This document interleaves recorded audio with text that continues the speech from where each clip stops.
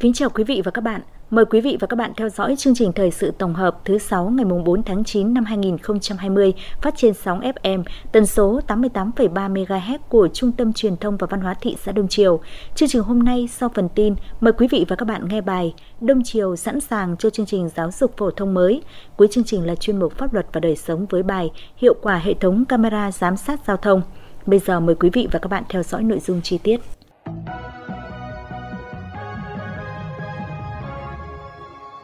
Vừa qua tại thành phố Hạ Long, đồng chí Trương Hòa Bình, Ủy viên Bộ Chính trị, Phó Thủ tướng Thường trực Chính phủ và đoàn công tác Trung ương đã làm việc với tỉnh Quảng Ninh để nắm bắt tình hình thực hiện nghị quyết Đại hội Đảng bộ tỉnh lần thứ 14 nhiệm kỳ 2015-2020, công tác giải ngân vốn đầu tư công, đồng thời chỉ đạo tháo gỡ khó khăn vướng mắc cho sản xuất kinh doanh phòng chống buôn lậu gian lận thương mại. Cùng dự về phía Trung ương có các đồng chí lãnh đạo các bộ ban ngành, về phía tỉnh Quảng Ninh có các đồng chí Nguyễn Xuân Ký, Bí thư tỉnh ủy, Chủ tịch Hội đồng Nhân dân tỉnh, Ngô Hoàng Ngân, Phó Bí thư Thường trực tỉnh ủy, Nguyễn Văn Thắng, Phó Bí thư tỉnh ủy, Chủ tịch Ủy ban Nhân dân tỉnh, các đồng chí Ủy viên Ban Thường vụ tỉnh ủy, Thường trực Hội đồng Nhân dân Ủy ban Nhân dân tỉnh, Dự hội nghị tại điểm cầu trực tuyến thị xã có đồng chí Phạm Văn Thành, tỉnh ủy viên, bí thư thị ủy, chủ tịch ủy ban nhân dân thị xã, đồng chí Nguyễn Văn Ngoãn, phó bí thư thường trực thị ủy, phó chủ tịch thường trực ủy ban nhân dân thị xã và đồng chí Nguyễn Ngọc Bằng, phó bí thư thị ủy, chủ tịch hội đồng nhân dân thị xã. Phát biểu tại buổi làm việc, các đồng chí Bí thư tỉnh ủy, Chủ tịch Hội đồng nhân dân tỉnh Nguyễn Xuân Ký và Phó Bí thư tỉnh ủy, Chủ tịch Ủy ban nhân dân tỉnh Nguyễn Văn Thắng khẳng định, trong nhiệm kỳ 2015-2020, Quảng Ninh đã kế thừa phát huy thành tựu chung của gần 35 năm đổi mới, quán triệt sâu rộng, bám sát cương lĩnh năm 2011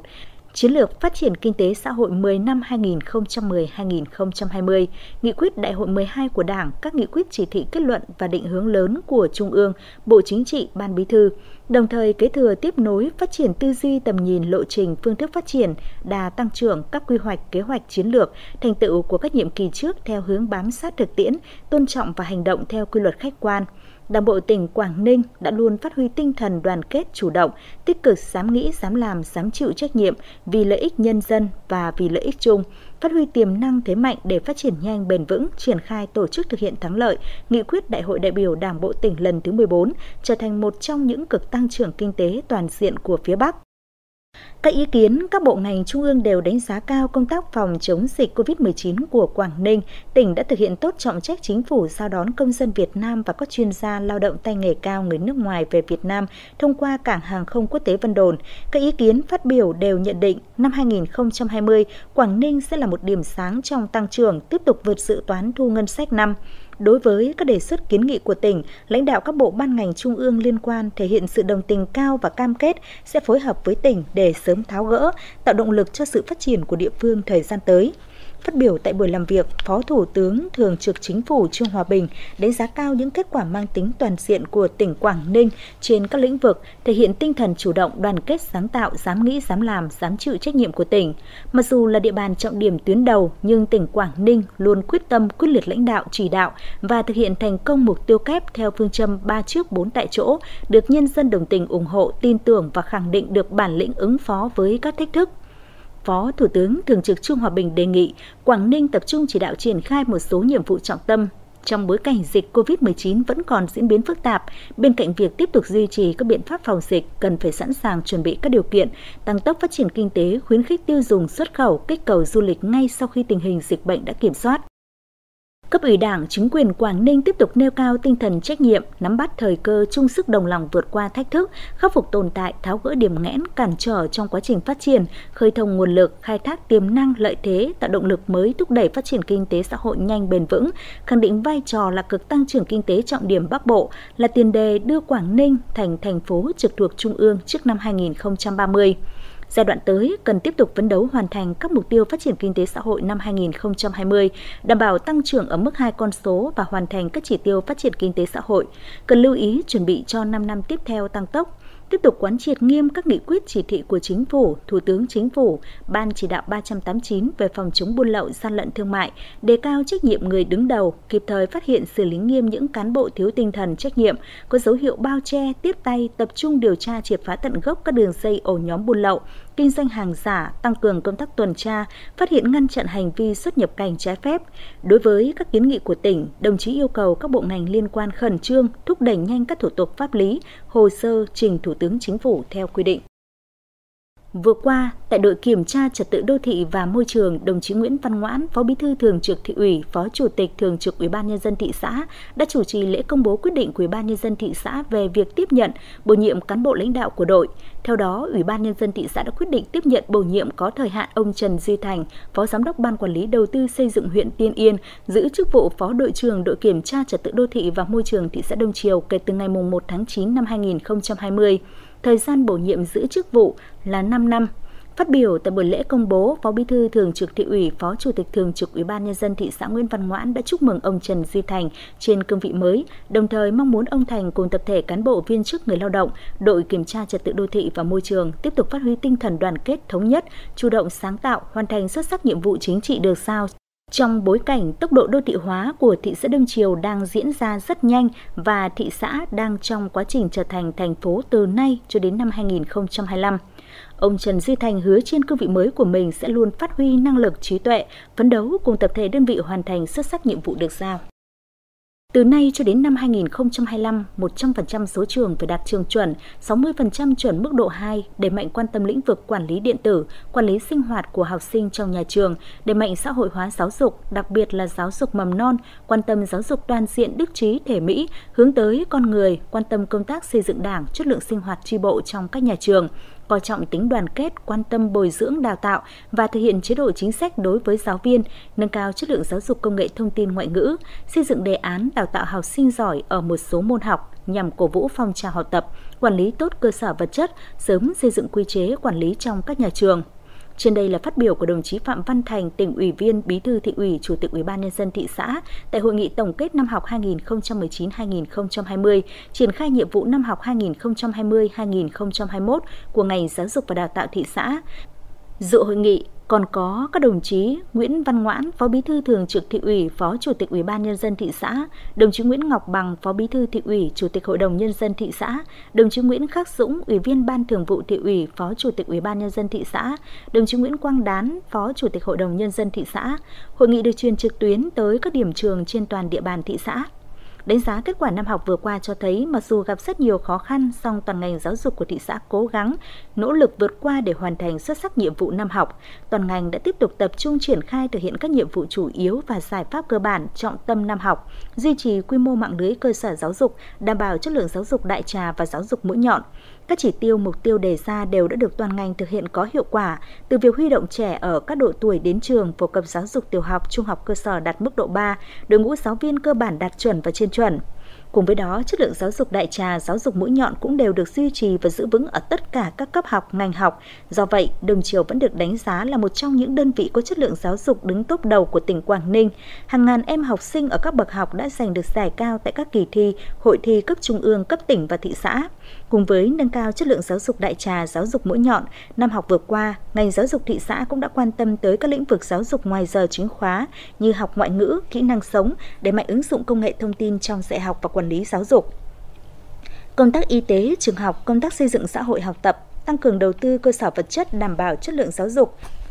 công tác xây dựng trường đạt chuẩn quốc gia, Tính đến nay, thị xã hiện có 79 trên 82 trường đạt chuẩn quốc gia, đạt tỷ lệ 96,34%, trong đó có 37 trường đạt chuẩn mức độ 2. Phát huy kết quả đã đạt được, ngành giáo dục đào tạo thị xã đã đề ra phương hướng nhiệm vụ năm học 2020-2021 với 8 nhiệm vụ trọng tâm chủ yếu như phát triển và nâng cao chất lượng giáo dục mầm non phổ thông, nâng cao chất lượng đội ngũ giáo viên và cán bộ quản lý giáo dục các cấp, tăng cường xã hội hóa, tăng cường cơ sở vật chất, nguồn lực đầu tư, đẩy mạnh ứng dụng công nghệ thông tin trong quản lý giáo dục, dạy và học, đẩy mạnh công tác truyền thông về giáo dục đào tạo. Phát biểu tại hội nghị, đồng chí Phạm Văn Thành, tỉnh ủy viên, bí thư thị ủy, chủ tịch ủy ban nhân dân thị xã đã ghi nhận, biểu dương, đánh giá cao những thành tích kết quả mà ngành giáo dục thị xã đã đạt được trong năm học vừa qua, trong bối cảnh gặp rất nhiều khó khăn. Đồng chí lưu ý bên cạnh những kết quả đã đạt được, ngành giáo dục đào tạo thị xã cũng phải thẳng thắn nhìn nhận những khó khăn hạn chế để khắc phục. Năm học 2020-2021 là năm học đầu tiên triển khai nghị quyết đại hội đảng bộ các cấp, vì vậy cần có sự quan tâm lãnh đạo chỉ đạo nhiều hơn của các cấp, sự nỗ lực sáng tạo của toàn ngành. Ban chấp hành Đảng bộ thị xã sẽ ban hành nghị quyết chuyên đề về phát triển giáo dục đào tạo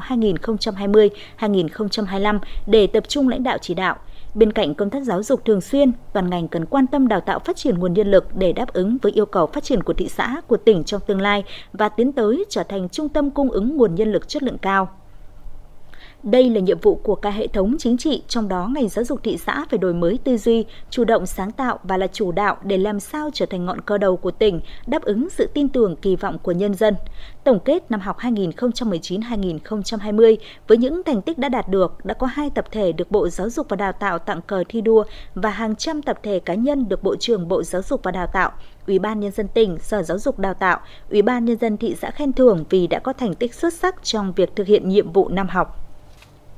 Sáng ngày 3 tháng 9, cùng với các trường học trên địa bàn thị xã, trường tiểu học Quyết Thắng, phường Mạo Khê đã tổ chức đón học sinh tự trường. Trong ngày tự trường, trường tiểu học Quyết Thắng đã phối hợp với công ty cổ phần đầu tư và phát triển giáo dục Mắc Việt Nam tổ chức chương trình đón em vào lớp 1. Đây là món quà ý nghĩa mà các thầy cô giáo dành tặng cho các em học sinh lớp 1, giúp các em vượt qua sự bỡ ngỡ ban đầu, cùng làm quen với ngôi trường mới, thầy cô và bạn bè. Năm học mới này, trường tiểu học Quyết Thắng có 745 học sinh, trong đó học sinh lớp 1 là 163 em. Thực hiện chỉ đạo của Ủy ban Nhân dân thị xã và Phòng Giáo dục Đào tạo thị xã, trường tiểu học Quyết Thắng đã nghiêm túc thực hiện các nội dung từ đảm bảo an toàn công tác phòng chống dịch bệnh COVID-19, cơ sở vật chất, trang thiết bị dạy học cho đến việc ổn định đội ngũ cán bộ giáo viên, sẵn sàng bước vào năm học mới 2020-2021. Quý vị và các bạn đang nghe chương trình thời sự phát thanh của Trung tâm Truyền thông và Văn hóa thị xã Đông Triều. Chương trình được phát trên sóng FM tần số 88,3 MHz.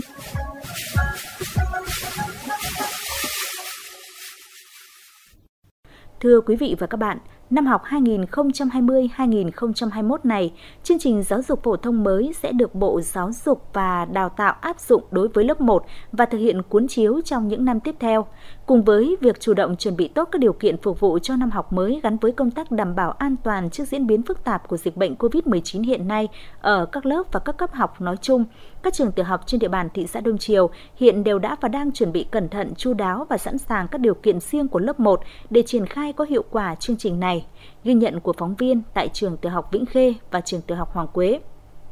Về trường tiểu học Vĩnh Khê trong thời điểm này, chúng tôi thấy khí thế của năm học mới thật sự rộn ràng. Từ cổng đến sân trường, các lớp học, thư viện, khu điều hành, khu hoạt động thể chất, khu nhà bếp nấu ăn cho học sinh và khu nhà vệ sinh của nhà trường đều đã được lau dọn vệ sinh sạch sẽ, sắp xếp gọn gàng thực hiện khử trùng sát khuẩn và dán các khẩu hiệu tuyên truyền về cách phòng chống dịch bệnh COVID-19. Riêng đối với 8 phòng học của khối lớp 1, cơ sở vật chất và các điều kiện đáp ứng phục vụ cho dạy và học theo chương trình giáo dục phổ thông mới cũng đã được nhà trường chuẩn bị kỹ lưỡng hơn. Theo kế hoạch năm học này, trường tiểu học Vĩnh Khê có 40 lớp với tổng số 1.526 em học sinh, trong đó khối lớp 1 là 8 lớp với tổng số 290 em. Để thực hiện có hiệu quả chương trình giáo dục phổ thông mới áp dụng đối với lớp 1, nhà trường đã chủ động bám sát tinh thần chỉ đạo của cấp trên để triển khai thực hiện. Trong đó có thực hiện nghiêm túc việc nghiên cứu lựa chọn sách giáo khoa dựa trên các căn cứ quyết định, căn cứ thông tư, căn cứ công văn của Bộ Giáo dục và Đào tạo, của Ủy ban nhân dân tỉnh Quảng Ninh, của Phòng Giáo dục và Đào tạo thị xã, tình hình thực tế ở cơ sở, tổ chức cho đội ngũ giáo viên tham gia các lớp tập huấn do Bộ Giáo dục và Đào tạo, Sở Giáo dục và Đào tạo tỉnh, Phòng Giáo dục và Đào tạo thị xã tổ chức ở tất cả các bộ môn. Đồng thời, đã chủ động tổ chức cho giáo viên nghiên cứu chương trình sách giáo khoa mới của lớp 1 để xây dựng phân phối chương trình và kế hoạch bài dạy làm tốt việc chuẩn bị đăng ký đáp ứng đủ về các đầu sách và danh mục thiết bị đồ dùng phục vụ cho công tác dạy học, quan tâm ưu tiên các nguồn lực, nhất là việc lựa chọn đội ngũ giáo viên có năng lực, kinh nghiệm để phụ trách cốt cán chuyên sâu từng môn học của lớp 1. Trao đổi với chúng tôi, cô Phạm Thị Nguyệt, Bí thư tri bộ, hiệu trưởng trường tiểu học Vĩnh Khê cho biết thêm. Đối với trường tiểu học Vĩnh Khê, mặc dù trong những điều kiện diễn biến của dịch COVID-19 để đảm bảo cho năm học mới sắp tới nhà trường cũng đã chủ động công tác phòng chống dịch và đặc biệt là đảm bảo các điều kiện sẵn sàng cho các em đến trường được an toàn. À, trong năm học 2020-2021 thực hiện chương trình giáo dục phổ thông 2018 đối với các em học sinh lớp 1. Tính đến thời điểm này, nhà trường cũng đã sẵn sàng đáp ứng mọi điều kiện để thực hiện tốt nhiệm vụ năm học 2020-2021. Còn tại trường tiểu học Hoàng Quế, sau những ngày khẩn trương chu đáo chuẩn bị các điều kiện cần thiết gắn với đảm bảo an toàn về phòng chống dịch bệnh COVID-19, thì công tác chuẩn bị cho năm học mới cũng đã sẵn sàng. Cô Phạm Thị Hường, giáo viên, tổ trưởng chuyên môn khối lớp 1 trường tiểu học Hoàng Quế chia sẻ. Để chuẩn bị cho thực hiện chương trình giáo dục phổ thông mới bắt đầu thực hiện từ năm học 2020-2021 thì làm một giáo viên sẽ trực tiếp giảng dạy lớp 1 thì chúng tôi đã được tham gia đầy đủ các đợt tập huấn do Bộ Giáo dục, Sở Giáo dục, Phòng Giáo dục triển khai và được tập huấn tại trường. Ngoài ra thì các thầy cô còn được tham gia bồi dưỡng qua mạng, tăng cường việc tự học, tự bồi dưỡng của giáo viên. 100% ờ, giáo viên chúng tôi đã được ờ, bồi dưỡng nắm chắc về chương trình phổ thông, biết đổi mới tư duy, phương pháp dạy học và kiểm tra đánh giá. Các thầy cô được nghiên cứu chương trình, tham gia lựa chọn sách để chọn ra bộ sách phù hợp nhất, và đến thời điểm này, đội ngũ giáo viên chúng tôi đã rất là sẵn sàng để thực hiện nhiệm vụ được giao ạ. Trong năm học này, trường tiểu học Hoàng Quế có 6 lớp với tổng 150 em học sinh của lớp 1 Ngoài việc được cấp trên ưu tiên quan tâm đầu tư xây dựng bổ sung mới 15 phòng học, thư viện, khu hiệu bộ, hành chính, làm sân chơi, bãi tập và công trình vệ sinh khép kín cho học sinh, nhà trường còn chủ động sửa chữa, nâng cấp các phòng học, mua sắm bổ sung thêm các phương tiện, trang thiết bị nhằm đảm bảo đáp ứng phục vụ cho công tác dạy và học, nhất là chương trình giáo dục phổ thông mới đối với lớp 1. Đồng thời, nhà trường đã chủ động làm tốt công tác tổ chức cho giáo viên, nhất là giáo viên dạy lớp 1 tham gia đầy đủ các lớp tập huấn của Bộ Giáo dục và Đào tạo, Sở Giáo dục và Đào tạo tỉnh, Phòng Giáo dục và Đào tạo thị xã cũng như tập huấn tại trường. 100% giáo viên tham gia dạy lớp 1 đều được nhà trường lựa chọn kỹ lưỡng về trình độ chuyên môn, kinh nghiệm và khả năng tiếp thu đổi mới để thực hiện vận hành chương trình. Đội ngũ giáo viên tham gia dạy lớp 1 còn được nhà trường ưu tiên về thời gian để có thể yên tâm nghiên cứu xây dựng, hoàn thiện giáo án chuyên môn đáp ứng thực hiện tốt nhiệm vụ đánh giá về công tác chuẩn bị sẵn sàng cho năm học mới nói chung và thực hiện chương trình giáo dục phổ thông mới áp dụng đối với lớp 1 tại nhà trường, ông Phạm Văn Lượng, Bí thư tri bộ, hiệu trưởng trường tiểu học Hoàng Quế cho biết. Đối với chương trình giáo dục phổ thông mới, bước sang trước thêm năm học mới này, tôi thấy rằng là đối với chương trình giáo dục phổ thông mới đã được chuẩn bị rất kỹ từ lâu và chúng tôi đã đào tạo được đội ngũ giáo viên là thông qua việc tập huấn từ cấp trên nhà trường đã được các cấp quản lý quan tâm nên việc chuẩn bị cho các điều kiện, phương tiện và đội ngũ giáo viên để phục vụ cho chương trình năm học mới, đặc biệt là chương trình giáo dục mới thì chúng tôi tin tưởng rằng với cơ sở vật chất hiện tại, đội ngũ giáo viên đã nắm chắc được nội dung phương pháp giảng dạy sẽ đảm bảo thực hiện chương trình giáo dục phổ thông mới một cách thắng lợi. Theo khung kế hoạch thời gian năm học 2020-2021, tem học sinh trong toàn thị xã tự trường vào ngày 3 tháng 9 và khai giảng năm học mới vào ngày 5 tháng 9. Với sự chuẩn bị chu đáo từ bản lề của năm học trước và năm học này, tin tưởng rằng trường tiểu học Vĩnh Khê và trường tiểu học Hoàng Quế nói riêng, các trường tiểu học trên địa bàn thị xã Đông Triều nói chung đã và sẽ thực hiện đảm bảo đúng lộ trình với những bước đi thận trọng, chắc chắn và có hiệu quả về chương trình giáo dục phổ thông mới áp dụng đối với lớp 1 hiện nay cũng như các năm học tiếp theo. Quý vị và các bạn vừa nghe bài Đông Triều sẵn sàng cho chương trình giáo dục phổ thông mới. Chuyên mục pháp luật và đời sống. Trong chuyên mục pháp luật và đời sống tuần này, mời quý vị và các bạn nghe bài Hiệu quả hệ thống camera giám sát giao thông.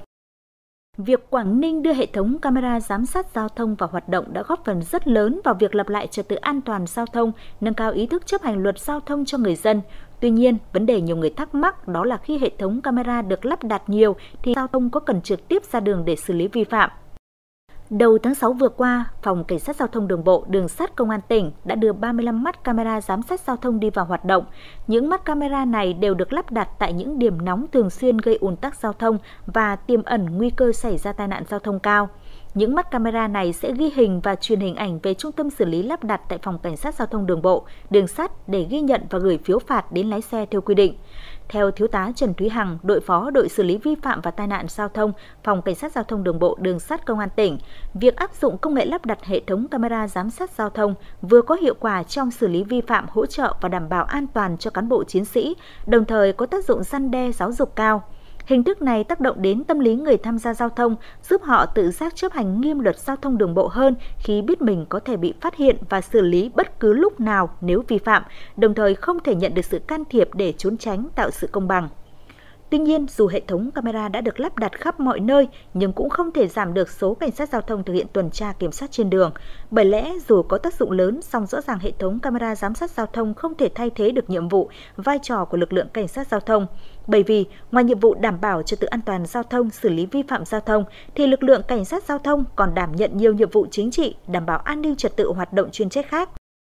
Trên thực tế, mặc dù có tính ưu việt là ghi hình vi phạm 24 trên 24, tuy nhiên hệ thống camera cũng có những điểm mù không thể quan sát hết được, đòi hỏi phải có lực lượng cảnh sát giao thông để tuần tra vi phạm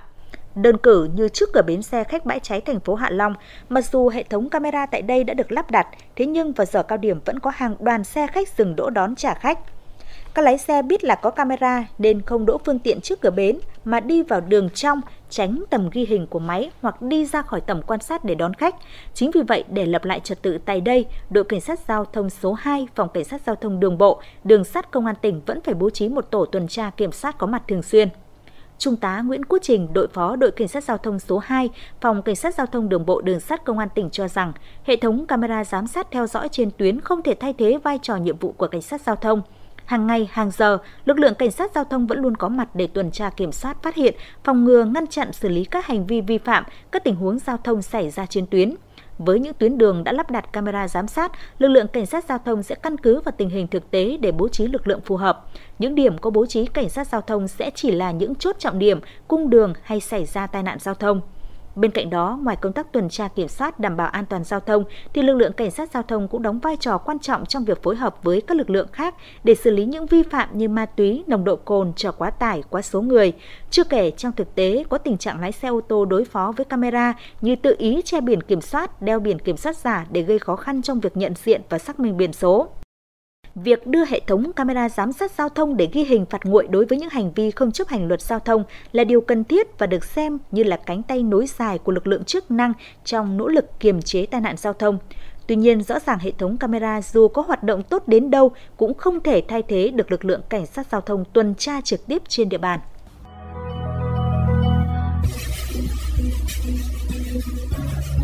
Chuyên mục Phòng chống dịch COVID-19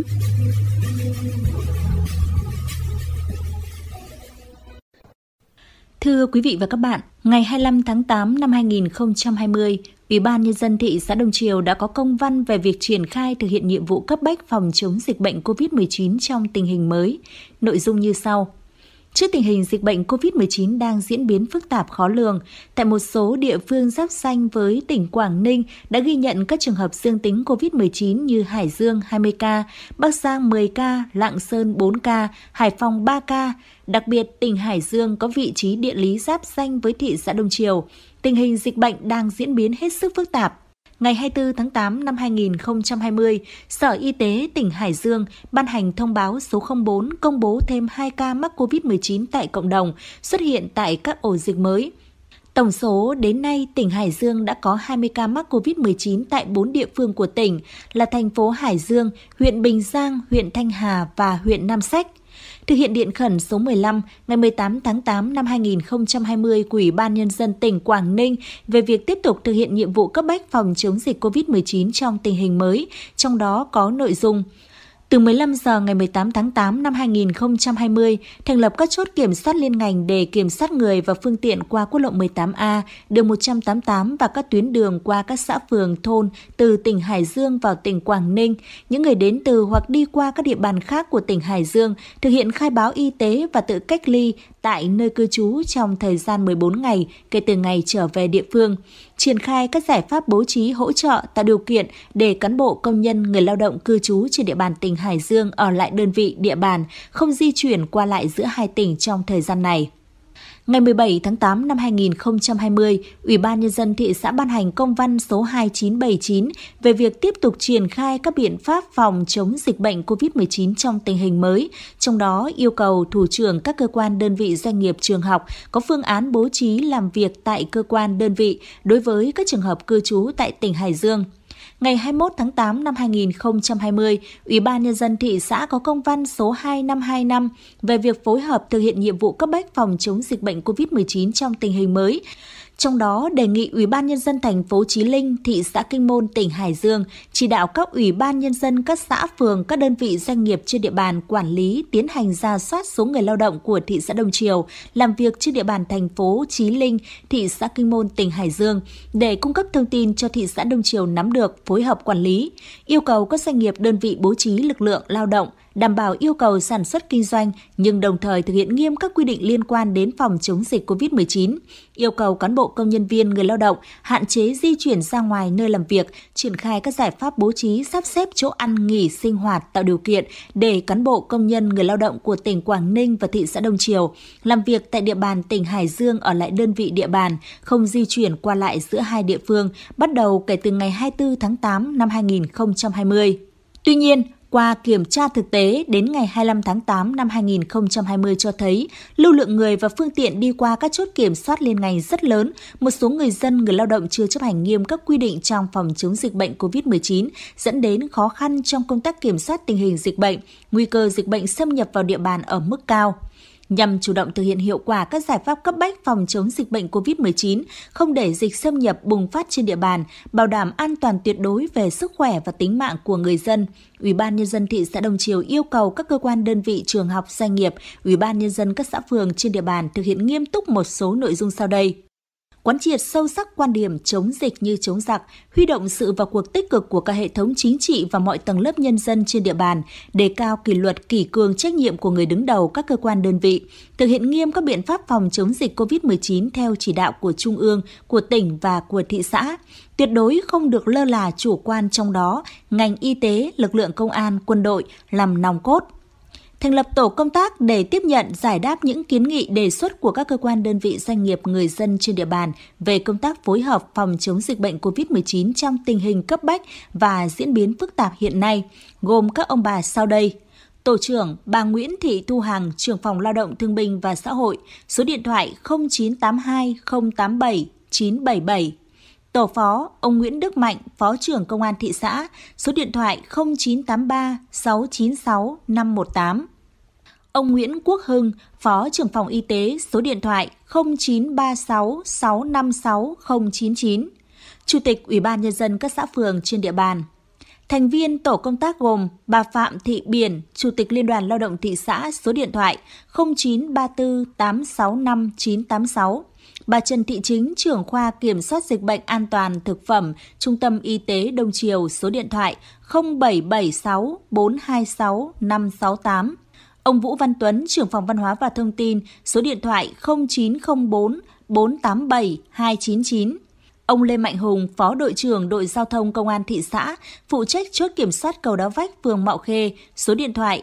0969 983 989. Ông Tống Đức Hòa, Phó đội trưởng đội giao thông công an thị xã phụ trách chốt kiểm soát cầu Vàng Chua xã Bình Dương, số điện thoại 0912 533 779.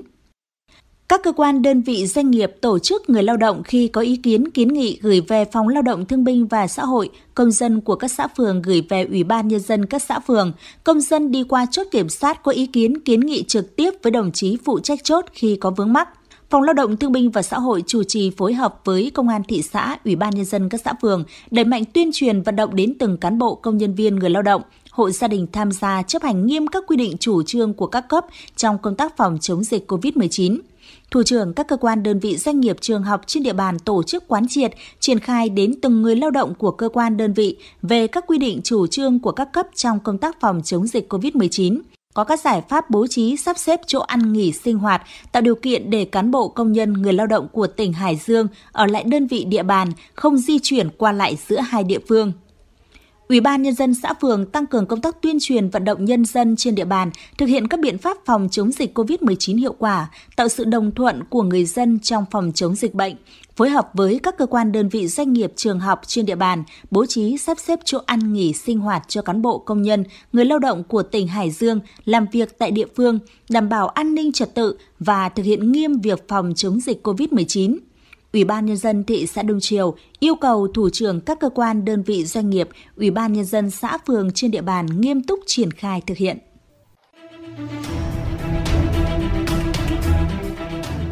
Hãy cài đặt ứng dụng Bluezone để bảo vệ bản thân và cộng đồng. Cùng cài đặt ứng dụng Bluezone, nếu có một người bị nhiễm COVID-19 thì những người đã tiếp xúc gần với người bị nhiễm trong vòng 14 ngày trước đó sẽ sớm được thông báo và được cơ quan y tế hỗ trợ sớm nhất tránh lây lan cho người thân, gia đình và cộng đồng. Khi địa phương có trên 50% số người có điện thoại thông minh cài đặt ứng dụng Bluezone thì sẽ dễ dàng xác minh được người có tiếp xúc gần với người nhiễm COVID-19. Khi đó, cơ quan y tế sẽ khoanh vùng chính xác hơn, phạm vi cách ly sẽ hợp lý hơn, không cần thiết phải cách ly hàng nghìn người như trước đây. Để tránh hiện tượng bị cách ly nhầm, cách ly số lượng lớn, bảo vệ người dân và các hoạt động sản xuất kinh doanh, đề nghị các cơ quan, đơn vị, tổ chức doanh nghiệp, nhà máy, nhà hàng, khách sạn, siêu thị cơ sở kinh doanh, địa điểm công cộng tăng cường vận động người lao động, người sử dụng dịch vụ, người ra vào địa điểm công cộng, cài đặt sử dụng ứng dụng Bluezone.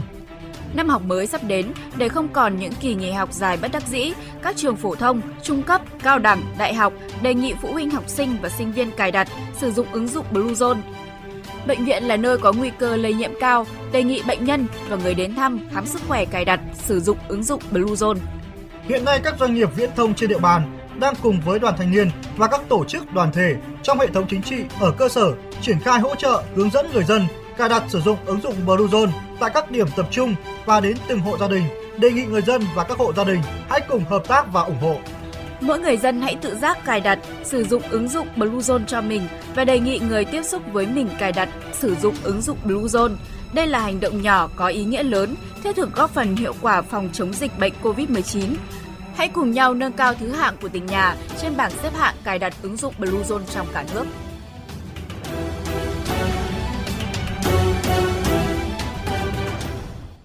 Quý vị và các bạn thân mến, chương trình thời sự hôm nay của Trung tâm Truyền thông và Văn hóa thị xã Đông Triều xin kết thúc tại đây. Quý vị và các bạn có ý kiến đóng góp hoặc thông tin phản ánh xin gửi về Ban biên tập phát thanh Trung tâm Truyền thông và Văn hóa thị xã Đông Triều. Chương trình hôm nay do Thu Trang biên tập cùng với sự tham gia của kỹ thuật viên Vũ Yên, phát thanh viên Thu Trang thực hiện, chịu trách nhiệm nội dung chương trình Trịnh Tuấn Anh. Cảm ơn sự quan tâm theo dõi của quý vị và các bạn. Xin kính chào và hẹn gặp lại trong các chương trình thời sự tiếp theo.